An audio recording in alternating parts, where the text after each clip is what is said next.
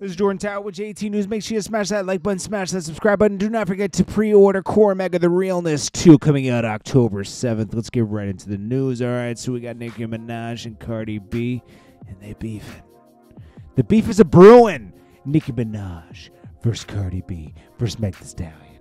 It's getting crazy. Okay, so Nicki Minaj accused somebody, a big rapper, of doing voodoo on her. Now, Cardi B has said she does black magic on certain people she doesn't like. Um, so they had a little back and forth, um, just like Meg Thee Stallion and Nicki Minaj had a little back and forth yesterday, uh, because she took a little, took a little, you know, she on Queen Radio, she let loose. Talking about, you know, Meg Thee Stallion tried to send her flowers and Beyonce sent her flowers, but didn't really congratulate her when she had a baby, only to send her flowers to get reposted on the gram. She called her a clown. Without saying her name, Cardi B said, This rap beef is getting old, redundant, same formula, different year. Start the chaos drama and then promote their stuff.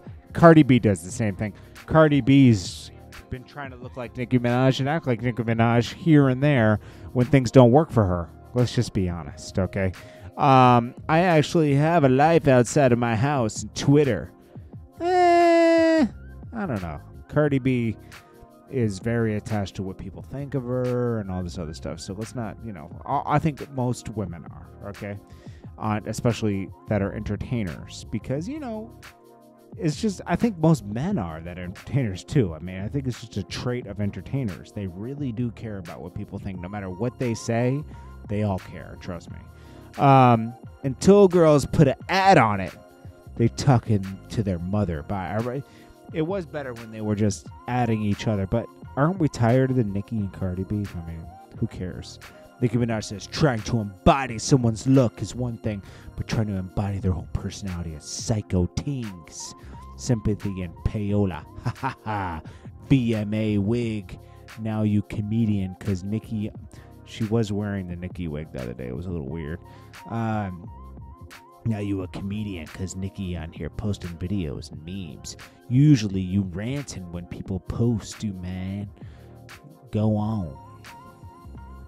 She does rant when uh like like Shade Room and everyone posts her. She's like, stop posting me. Stop using me for clout. Has he posted anything about girls making fun of someone's house uh, burning down? I had his ass on my show. Barb's are the one that got his site popping. Who's she talking about?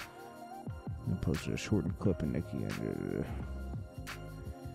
Uh, stop getting on that stuff. Report and move on. And I haven't seen his uh, site today, but I'm just saying. Yo, people, Kyle just did. Who's Kyle? Purposely posted a short clip and said the Garcelle so that people would drag her. He hasn't posted ish. That lady going to court this morning, by the way. I don't know what. These girl beefs get too be- too deep for me. Uh, I guess this is me, huh? This is what Cardi B said. I don't know, man. There's a lot going on here. Nicki's mad at Meg because Meg kind of like uses everybody to get ahead. We've seen that with like everybody. Um, hey man, it is what it is. Uh, this is Jordan Tower with JT News. Could be a Barb, could be a Bardi. I don't know. It is what it is.